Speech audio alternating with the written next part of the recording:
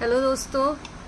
Welcome back to my channel Rachna's ji के blogs and अगर आपने सब्सक्राइब नहीं किया है मेरे चैनल को तो ज़रूर सब्सक्राइब कर लें और मेरे सभी वीडियोस को देखें लाइक करें और शेयर करें. मैंने जी ट्वेंटी पर वर्ल्ड एनवायरनमेंट डे पर वीडियोस बनाए हैं और आपके साथ शेयर किए हैं.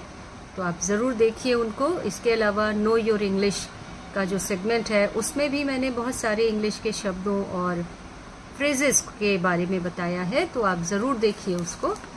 और बताने को तो बहुत कुछ है आपके लिए लेकिन समय की थोड़ी कमी रहती है और इस वजह से आ, मैं आपके पास थोड़ी देर के लिए ही आ, उपस्थित हो पाती हूँ।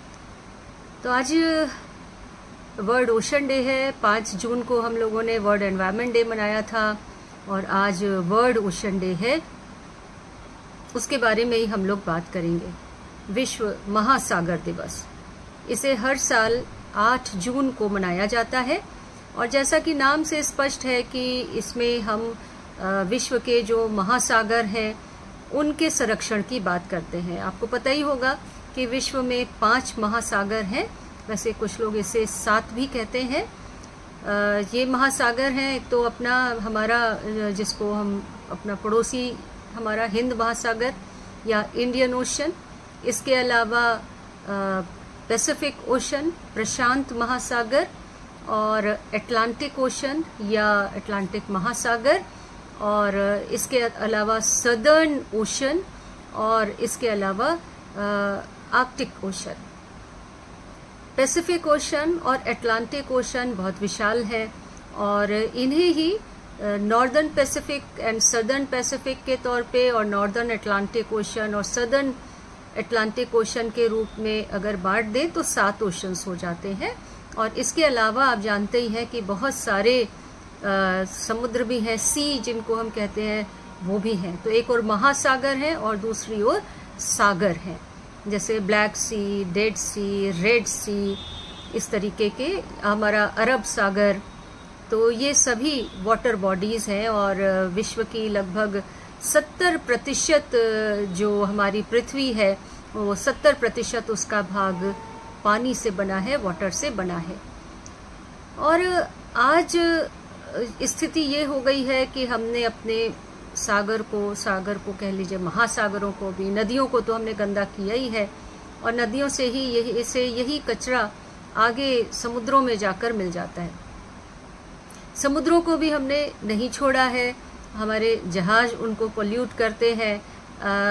कई बार हमने सुना है कि जहाज़ का अगर मान लीजिए कि कोई एक्सीडेंट हो गया या अन्य किसी प्रकार की दुर्घटना हुई तो ऑयल स्पिल कर गया समुद्र पर और ऐसी स्थिति में जो समुद्र में रहने वाले जीव हैं, उनको ऑक्सीजन नहीं मिलती है और वो एक्सटिंक्ट होते जा रहे हैं। कई बार हम सुनते हैं कि मछलियों की बहुत सारी जो प्रजातियाँ हैं, वो अब नहीं मिल रही हैं या खत्म होती जा रही हैं लुप्त प्राय होती जा रही हैं। यहाँ तक कि जो मेजर स्पीशीज जिनके बारे में हम सुनते हैं, जो ह्यूमन फ्रेंडली भी है, डॉल्फिन की बात अगर हम कर लें तो उनकी भी प्रजाति जो है वो खतरे में पड़ गई है। तो महासागर जैव विविधता से भरे हुए हैं और हमारा जो एनवायरनमेंट है, उसका ये बहुत इंपॉर्टेंट पार्ट है। हमारा जो पारिस्थितिकी तंत्र है, उस, उसमें अनेक प्रकार के जीव हैं अनेक प्रकार के उसमें ऑर्गन्स है, अंग है और उन्हीं में से ओशंस भी है। तो ओशंस न केवल हमारे लिए एक वाटर बॉडी है, बल्कि ये हमारा जो एनवायरनमेंट है, उसका एक हिस्सा है और हमें उनको बचाने की ज़रूरत है। अगर हम महासागरों को बचाएँगे तो हमारी जो जैव विविधता है, वो बची रहेगी।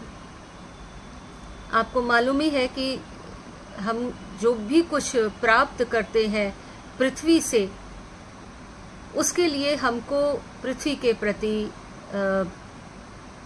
आभारी होने की आवश्यकता है। तो महासागरों से मिलने वाले संसाधनों की क्षति होने से हमें रोकना है और इसीलिए महा, ये दिवस मनाया जाता है, विश्व महासागर दिवस के रूप में हम इसको मनाते हैं, क्योंकि ये जो महासागर है वो विश्व की आर्थिक व्यवस्था अर्थव्यवस्था से जुड़े हुए हैं। ये लोगों को भोजन और पोषण दोनों ही देते हैं। कहीं पर ये आ, हमारे टूरिज़्म के लिए है तो कहीं पर इनसे हम तेल प्राप्त करते हैं तो कहीं हम इनसे जो आ, अन्य जो जैविक विविधता वाले भाग हैं उनको प्राप्त करते हैं। फ़िश फिशिंग एक बहुत बड़ा इम्पोर्टेंट स्रोत है जहाँ जो हम समुद्रों से फिशिंग को लेते हैं। तो प्रदूषण ग्लोबल वार्मिंग ऐसी समस्याओं ने पर्यावरण का भी क्षरण कर दिया है और आ, सागर में जो रहने वाले जीव जंतु हैं उनके लिए भी खतरा पैदा कर दिया है। इसको देखते हुए ही इस दिन को मनाने का निश्चय किया गया। दरअसल इस आठ जून को विश्व महासागर दिवस के रूप में मनाए जाने का आरंभ हम देखते हैं अर्थ समिट से, जो उन्नीस सौ बानवे में हुई थी रियो डिजेनेरियो में। और उसके बाद ओशन इंस्टीट्यूट ऑफ़ कनाडा और कनाडा इंटरनेशनल सेंटर ने विश्व महासागर दिवस को मनाने का प्रस्ताव रखा, जिसे 2008 में यूनाइटेड नेशंस ने एक्सेप्ट किया और 2009 में 8 जून से इस दिन को मनाने का कार्य आरंभ कर दिया गया। पहली बार जब इस दिवस को मनाया गया तो इसकी थीम थी वन ओशन, वन वर्ल्ड। और, जिससे कि सभी को ये समझ में आए कि सबकी ज़िम्मेदारी है महासागरों को बचाने की। तो आज का ये दिन बड़ा महत्वपूर्ण है।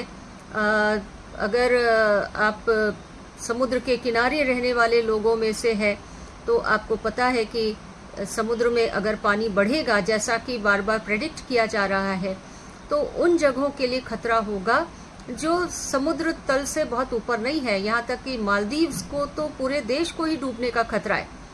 हमारे यहाँ मुंबई के लिए खतरा बताया जाता है, क्योंकि मुंबई तो पूरा सी से क्लेम की हुई ज़मीन पर ही बसा हुआ है। तो अगर ग्लोबल वार्मिंग की वजह से पानी बढ़ेगा समुद्र में सी लेवल इंक्रीज होगा राइज होगा तो ह्यूमन बींग्स के लिए एक बड़ा खतरा पैदा हो सकता है। तो समुद्र जो हमारे लिए अनेक प्रकार से लाभदायक है, जो हमारी सेहत के लिए लाभदायक है, समुद्र तट के किनारे अगर आप सैर करें तो विटामिन डी आपको बढ़िया तरीके से मिल सकता है। विटामिन डी का जो मुख्य स्रोत है, वो सूरज की किरणें होती हैं। तो अगर आप समुद्र के किनारे वॉक करते हैं सन की रेज आपको मिलती है तो नेचुरली आपको विटामिन डी मिलेगा, जिसकी आजकल बहुत कमी हो रही है। एक्टिव रहने के लिए भी बीच एक्श वैकेशन बहुत महत्वपूर्ण है।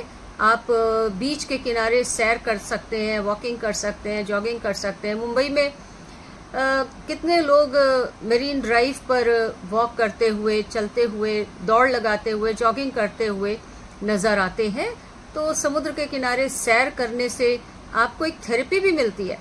ये केवल आपको शारीरिक ही स्वास्थ्य नहीं देता है, बल्कि मानसिक रूप से भी आपको इससे लाभ होता है। आपका, आपको दिल को सुकून मिलता है। तो धूप में बैठना, समुद्र की लहरों को देखना ये सब आपको खुशी प्रदान करता है। आपका जो डिप्रेशन है वो दूर हो जाता है। इसके अलावा क्रिएटिविटी बढ़ाने का भी एक अच्छा तरीका है समुद्र तट पर घूम आना। आप समुद्र के किनारे बैठते हैं तो आप को कुछ क्रिएटिव होने का भी मन करने लगता है पेंट करने का मन कर सकता है, किताबें पढ़ने का मन कर सकता है। तो इसलिए बहुत ज़रूरी है कि आप बीच वेकेशन प्लान करें और समुद्र का आनंद लें। लेकिन उसके साथ साथ अपनी ज़िम्मेदारी को भी हमें नहीं भूलना है और विश्व महासागर दिवस यही ज़िम्मेदारी याद दिलाने का एक तरीका है।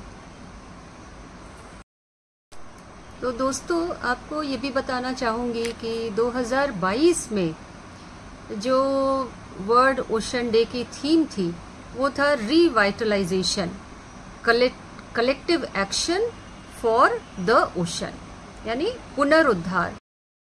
और 2023 में वर्ल्ड ओशन डे का थीम है planet ocean the tides are changing इसके साथ, आपसे मैं एक बार फिर गुजारिश करूँगी कि आप चैनल को ज़रूर सब्सक्राइब करें वीडियोस को देखें और लाइक कीजिए और शेयर कीजिए. Bye bye